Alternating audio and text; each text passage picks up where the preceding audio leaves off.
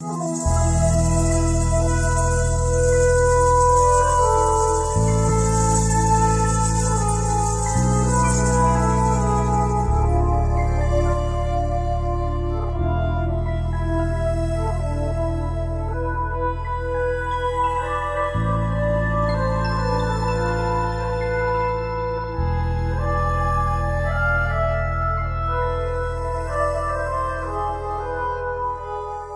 दोस्तों, हमने पिछली वीडियो में देखा कि हज़रत यूसुफ सलाम को बादशाह ने कैद से रिहा कर दिया। सारी सच्चाई जानने के बाद उसने हज़रत यूसुफ सलाम को अपनी जगह दे दी और खुद तख्त से हट गया, क्योंकि वो जान चुका था कि यूसुफ सलाम कोई आम शख्स नहीं है। वो एक दाना है और एक अक्लमंद और दयानतदार शख्स है। और वो हाकमी मिस्र की भी सारी दास्तान जान चुका था। जब हज़रत यूसुफ सलाम वहाँ पहुँचे और उन्हें मालूम हुआ कि हाकमी मिस्र बीमार हो चुके हैं, तब हज़रत यूसुफ सलाम बहुत ही ज़्यादा परेशान हुए। और उन्होंने बादशाह मिस्र को कहा कि मेरा मतलब हरगिज ये ना था कि वो अपने हाकमे मिस्र को परेशान करें। तब बादशाह ने कहा कि मैं आपको हाकमे मिस्र की जगह देता हूँ। हज़रत यूसुफ सलाम ने कहा कि हाकमे मिस्र मेरे माली मुख्तार हैं। मैं इनकी जगह कैसे ले सकता हूँ? सो आप मुझे मिस्र के अनाज का वज़ीर बना दें। आगे कहत, साली भी आने वाली है। सो मैं आपके अनाज का रखवाली करूँगा। और कहत, साली के दिनों में लोगों को बराबर में अनाज तकसीम करूँगा। बादशाह मिसर ने हज़रत यूसुफ सलाम को अनाज का वज़ीर बना दिया और बाद अदा यूसुफ सलाम का काम देखकर पूरी सल्तनत आपके हवाले कर दी और खुद दस्तबरदार हो गया। हज़रत यूसुफ सलाम ने सात साल कहत साली के बहुत ही ज़्यादा समझ बूझ और अल्लाह की हिकमत की वजह से आराम से गुजार दिए और ये कहत साली का दौर किसी को भी महसूस न हो सका। सुनामी टीवी के मोजिज दोस्तों अस्सलाम वालेकुम अगर अभी तक आपने सुनामी टीवी को सब्सक्राइब नहीं किया तो जल्दी से सब्सक्राइब के बटन पर क्लिक करें। सुनामी टीवी को सब्सक्राइब करने के बाद साथ में मौजूद बेल आइकन को भी लाजमी दबाएँ, ताकि आप तक हमारी तमाम वीडियो के नोटिफिकेशन पहुँच सकें। तो चलिए आज की वीडियो का आगाज़ करते हैं। दोस्तों, जब हज़रत यूसुफ सलाम के भाई आपके पास अनाज लेने के लिए मिस्र पहुँचे और आपने उन्हें पहचान लिया। उनसे कहा कि तुम अपने भाई बिनियामीन को भी लेकर आओ, फिर तुम्हें ज़्यादा अनाज मिलेगा और जमानत के तौर पर उनके एक भाई शमून को कैद में रख लिया और कहा कि जब तुम अगली दफ़ा आओ तो तुम्हें अनाज दिया जाएगा। फ़िलहाल तुम एक एक बोरी अनाज ले जाओ और अपने पैसे भी ले जाओ, ताकि तुम्हें यकीन हो कि हाकम मिस्र तुम्हारे साथ ज्यादती नहीं करेंगे। भाइयों ने कहा कि हाकम मिस्र बाप इजाज़त नहीं देंगे? कि वो बिनियामीन को साथ आने दें। हज़रत यूसुफ सलाम ने कहा कि आप अपने वालिद को जाके समझाएँ, वो ज़रूर मान जाएँगे। दोस्तों, रिवायात में है कि हज़रत यूसुफ सलाम ने चाहा कि वो अपने भाइयों से बदला लें, मगर इसी वक्त जनाब बारी ताला से आवाज़ आई कि यूसुफ, अगर अपने भाइयों से तुमने मुकाफात ली तो इनमें और तुझ में क्या फ़र्क रहेगा? बल्कि अफू करना मौजब हसनात का है। और तू अपने को इनसे छुपा और इनको अपनी पहचान मत बता, ताकि वो तुझसे शर्मिंदा होकर अपनी हाजात से महरूम न हो जावे। और साहिब इस्तात को ये लायक नहीं है कि वो अपने डर से इनकी जरूरियात से महरूम रखे। यूसुफ, इन वाकयात को जाने दो, क्योंकि वो तेरे दर पर मोहताज बनकर आए हैं। खुश होकर इनको अपने से रुखसत करो। हज़रत यूसुफ सलाम ने बमोजब खिताब इलाही के अपने भाइयों से कुछ मुआवजा न किया और इनको अपने पास बुलाकर पूछा कि तुम कहाँ से आए हो और किस जगह के रहने वाले हो? सारा वाक्य जानने के बाद उन्होंने कहा कि तुम बिनियामीन को भी अपने साथ लाओ, ताकि मैं जान सकूँ कि तुम वाकई ही एतमाद वाले शख्स हो और सल्तनत मिस्र के साथ धोखा नहीं करोगे। दोस्तों, जब हज़रत यूसुफ सलाम ने भाइयों को रुखसत किया तो वो अचानक बोल उठे। जैसा कि अल्लाह ताला कुरान मजीद में भी इरशाद फरमाते हैं, कहा उन्होंने कि हम सब ख्वाहिश ज़ाहिर करेंगे, अपने बाप से इसके लाने की, अपने हमरा, और ये काम हमको करना है। बस हज़रत यूसुफ सलाम ने अपने मुलाजमों को कह दिया कि वो पूंजी इनको दो सौ दिनार की है, इसको भी इनके बोझों में जाकर रख दो। चनाचा इनके भाई यहूदा के ऊँट के बोझ में छुपा कर रख दी गई। इस वाक़े को अल्लाह ताला इन अल्फाज में कुरान मजीद में इरशाद फरमाते हैं और कह दिया अपने खिदमतगारों को कि इनकी पूंजी को इनके ऊँट के बोझों में रख दो। शायद वो अपने घरों में पहुँचे पर इसको पहचाने और शायद इसी वजह से वो फिर वापस हमारे पास आवे। यानी हासिल मतलब ये है, जो कीमत को लेकर आए थे सो इसको छुपा कर इनके ऊँटों के बोझों में रख दी गई। बतौर एहसान के एहसान के बदले फिर दूसरी मरतबा आवे और अपने हमरा इस छोटे भाई को भी लाए, जिसकी हिदायत चलते वक्त हज़रत यूसुफ ने की थी। मरवी है कि हज़रत यूसुफ अलैहिस्सलाम जब अपने भाइयों पर बहुत मेहरबानी की लेने देने में, तब यहूदा को कमाल यकीन हुआ कि ये मेरा भाई यूसुफ है, क्योंकि हमको खिलाना पिलाना और इतनी खातिर मदारत करना। और बाप का हाल अहवाल पूछना सवाई यूसुफ के और कौन कर सकता है? और इनको बोल चाल और आवाज़ भी इसी तरह पर है। और अगर फिल हकीकत ये यूसुफ ना हो तो गालिब है, कोई हमारे खानदान में से या अहले बैद से होगा।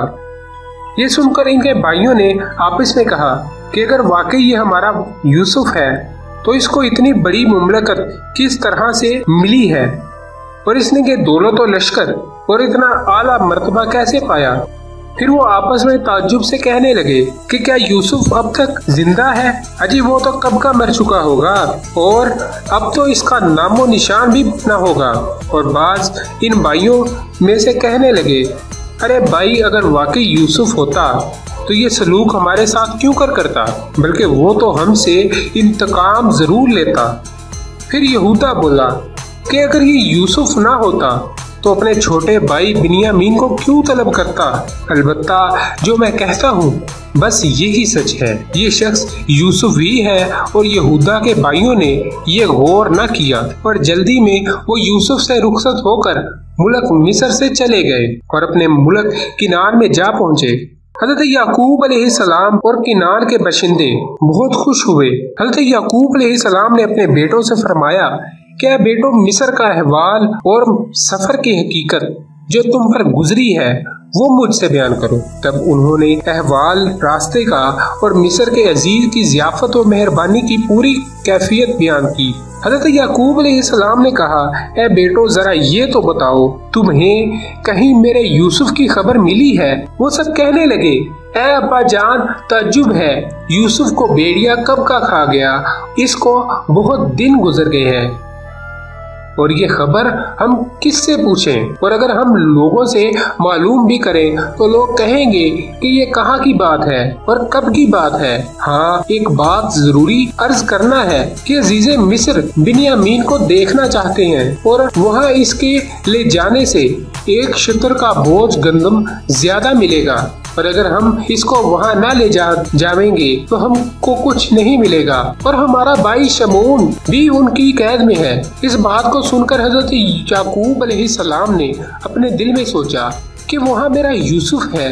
अगर मेरा यूसुफ वहाँ ना होता तो बिनियामीन को क्यों देखना चाहता? ये समझने की बात है कि अज़ीज़ मिस्र को बिनियामीन से क्या मतलब हो सकता है? वो सब भाई अब्बा जान से अर्ज़ करने लगे कि अज़ीज़ मिस्र ने हमारी शक्लें देखी और फिर हमसे खुश होकर कहने लगा कि तुम लोग अपने भाई को आइंदा ज़रूर अपने हमरा लाना, वरना गंदुम नहीं मिलेगी। मुझे इसलिए देखने का बहुत शौक है, क्योंकि वो आप लोगों से सबसे छोटा है। हज़रत याकूब सलाम ने कहा कि एतबार करूँ तुम्हारा। इस पर मगर वही जैसा के एतबार किया था, इसके भाई पर पहले। कहने लगे, अल्लाह ताला बेहतर निगहबान है और सब मेहरबानों से बड़ा मेहरबान है। जब वो लोग सब के सब अपने बाप के पास आए और अपना अपना लाया हुआ असबाब खोला तो इस असबाब में अपने माल भी पाया, जो वो लेकर गए थे। जैसा कि अल्लाह ताला कुरान मजीद में भी इरशाद फरमाते हैं और जब खोला इन्होंने अपने असबाब को तो पाई अपनी पूंजी जो थी इसमें पाई। और उन्होंने अपने बाप से कहा कि जो हम लोग लेकर गए, वो सब वापस आ गई है। अगर आपने छोटे भाई हमारे को हमरा रवाना ना किया आइंदा भी हम सबको एक एक ऊँट बोझ का गला मिलेगा, वरना हम सबको महरूम कर दिया जाएगा। फिर ये बात सुनकर हज़रत यकूब अलैहिस्सलाम ने कहा कि हरगिज ना भेजूँगा। अपने छोटे बेटे को तुम्हारे साथ यहाँ तक के कसम दो अल्लाह ताला की मेरे रूबरू होकर कि इसको ले आओगे वापस मेरे पास। बस जब दिया उन्होंने, इनको अपने अहद अल्लाह का इस बात पर शाहिद है। और जो कुछ हम लोग आपसे कहते हैं, वही हमारा और आपका कारसाज है। फिर सब भाइयों ने अपने बाप के सामने अहद किया और फिर कसम खाई। तब हज़रत याकूब सलाम ने फरमाया कि, खुदा हाफिज, और शायद है तुम्हारे कोलो करार पर। खबर है, हज़रत याकूब सलाम ने जब अपनी पूंजी पाई और ऊँटों के बोझ में जो माल भेजा था, अनाज के लिए मिस्र में। यकूब सलाम को कामिल यकीन हुआ कि मिस्र में मेरा यूसुफ है। अगर यूसुफ ना होता तो अपने छोटे भाई बिनियामीन को मिस्र में क्यों बुलाता? और मैंने भी यकीन किया, अगर मुझे यकीन ना होता तो अपने छोटे बेटे बिनियामीन को अपने बेटों के साथ मिस्र क्यों भेजता? और जो अनाज मिस्र से आया था, इसमें से आधा अपने ख्वाहिशों अकारब को दिया और आधा मुल्क शाम में भेज दिया। पर बिनियामीन को अपने बेटों के हमरा मिस्र रवाना कर दिया और चलते वक्त ये वसीयत की कि तमाम एक बारगी एक ही दरवाजे से शहर में दाखिल मत हो, बल्कि सब मुख्तलिफ़ दरवाजों से दाखिल हो। मुमकिन है किसी की बद नज़र तुम पर पड़े। पर जो मेरी पूंजी वहाँ से बजरिया शतर के बोझ में वापस आ गई है, ये तुम लेते जाओ। शायद भूल में चली आई हो, और ये चीज़ अनाज की कीमत में दी गई है। तुम्हें वापस रखना हलाल नहीं। ये वसीयत फरमाई और फिर कहा, जाओ, मैंने तुम्हें खुदा पर सौंपा। और अहले किनान ने आपको रोते देखा तो वो लोग भी आपके साथ रोने लगे। इधर हज़रत यूसुफ सलाम अपने छोटे भाई के लिए बहुत मुंतजर थे कि देखे कब आवेंगे। अर्ज़ ये है कि वो सब लोग चंद ही रोज में मिस्र जा पहुँचे और हज़रत यूसुफ सलाम को खबर दी कि आपके पास के नाम से ग्यारह आदमी आए हैं। ये खबर सुनकर हज़रत यूसुफ सलाम बहुत खुश हुए। मालूम किया तो पता चला कि ग्यारह आदमी में ग्यारहवा बिनियामीन है। और सब भाई वो मौजब वसीयत अपने बाप की अलहदा अलहदा दरवाजों से मुतफरक सूरत में मिस्र में दाखिल हुए हैं। जैसा कि हज़रत याकूब सलाम ने कहा, और अल्लाह ताला ने कुरान मजीद में इसको यूँ फरमाया है। और याकूब ने कहा कि, ए मेरे बेटो, मत दाखिल होना। एक दरवाजे से और तुम दाखिल होना। मुख्तलिफ़ अलहदा दरवाजों से। और मैं कुछ भी ताकत नहीं रखता कि मैं किसी चीज़ से बचा सकूँ। बजुज हुक्म खुदाबंदी के और हुक्म सवाई अल्लाह ताला के किसी का नहीं। और इसी पर मुझको भरोसा है। और ये भी मुझे काबिल यकीन है कि इस पर भरोसा करना मुझको जेब देता है और इस पर भरोसा यकीन वाले ही करते हैं। ये दर हकीकत लोगों की टोक का बचाव बताया और फिर भरोसा किया अल्लाह ताला पर और टोक लगनी गलत नहीं है और इसी का बचाव करना भी जायज़ है। और जब दाखिल हुए, यूसुफ के पास अपने पास रखा और अपने भाई को कहा, मैं हूँ भाई तेरा और तुम किस तरह पर गम न करना। इन कामों से जो करते रहे, सब भाई मिलकर और वो सब शहर में एक जगह जाकर उतरे। बाद उतरने के एक मुलाजिम शहर का इनको सीधे रास्ते से हज़रत यूसुफ ने इस्लाम के पास ले गया। सब भाइयों ने बवक्त मुलाकात के हज़रत यूसुफ को बाअदब सलाम कहा।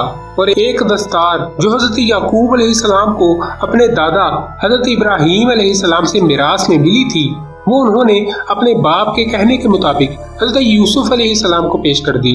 और हज़रत यूसुफ सलाम ने कहा कि हमारे बाप का दिया हुआ हदिया है। हज़रत यूसुफ सलाम अपने बाप की भेजी हुई दस्तार देख कर अजहद खुश हुए।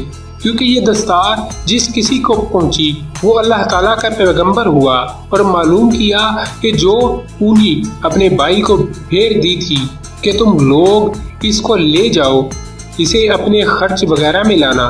फिर इसको वैसा ही बाप ने वापस कर दिया। ये देखकर हज़रत यूसुफ को कुछ अफसोस हुआ, लेकिन मेहमानों की मेहमान नवाजी करना ज़रूरी था। फ़ौरन अपने खादमों और खानसामाओं को हुक्म दिया कि खाने जल्द अज जल्द तैयार करो और बकायदा दस्तरखान लगाओ।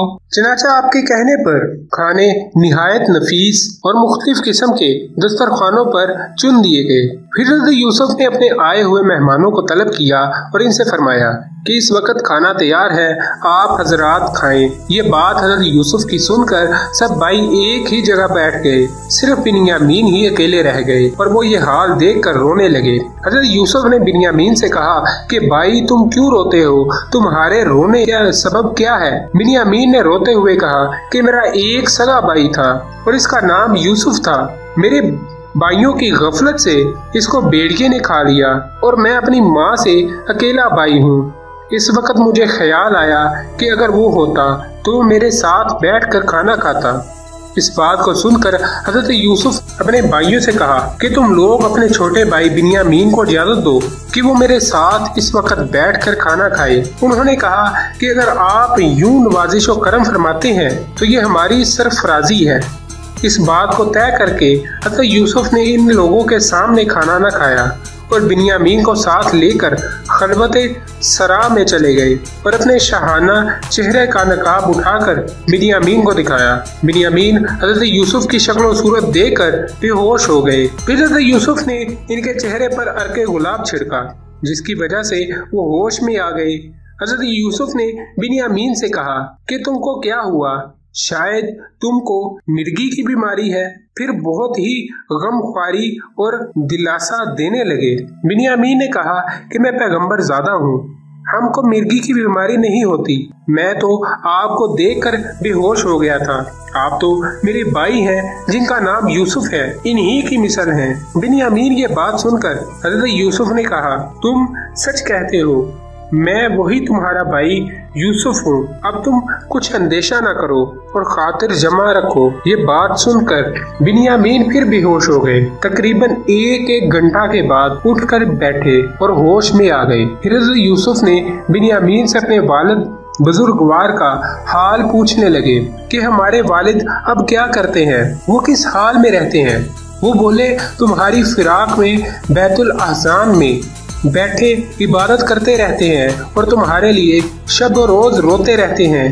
दोनों आँखें इनकी जाती रही हैं और तुम्हारे गम में इनकी ज़िंदगी तलख हो गई है। हज़रत यूसुफ बिन अमीन की ये बातें सुनकर बहुत रोए और कहा, तुम खाना खाओ है मेरे प्यारे छोटे भाई, मैं अपनी मुसीबत का किस्सा जो जो जुल्म भाइयों ने मुझ पर किया था, वो मैं तुमसे बयान करता हूँ। सो उन्होंने वो सारा वाक्य जो भाइयों के कुएँ में फेंकने के बाद से उनके साथ आगे पेश आया, सल्तनत मिस्र के हाकिम बनने तक वो सारा अपने भाई को बयान कर दिया। जब ये सारा वाक्य मुकम्मल हो गया, तब बिन्यामीन इस खलबत सराह से बाहर निकल आए। हज़रत यूसुफ ने अपने भाइयों को तीन दिन तक खाना पीना बराबर खिलाया।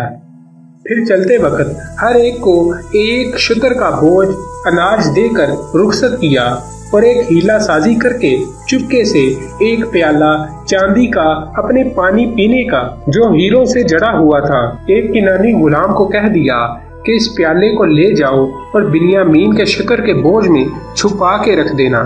चराचा इस गुलाम ने ऐसा ही किया, जैसा कि इसको हुक्म दिया गया था। और वो सब तकरीबन एक मंजिल की राह निकल चुके थे। इसके बाद हज़रत यूसुफ ने अपने चंद सवारों को इनके पीछे भेजा कि प्याला पीने का माँ बिनियामीन के हमारे पास लाएँ।